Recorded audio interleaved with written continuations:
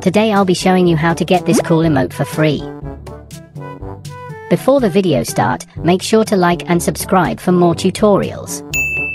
Search up for this game. Join the first game.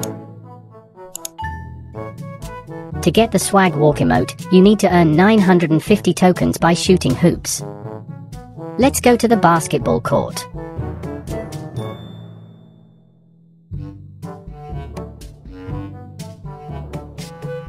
Step on these green spots. Click the mouse each time when the arrow is in the green box.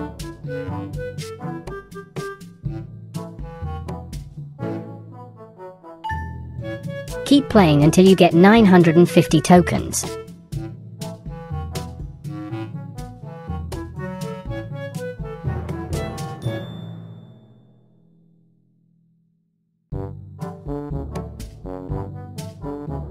Thank you so much for watching. 見てくれてありがとう。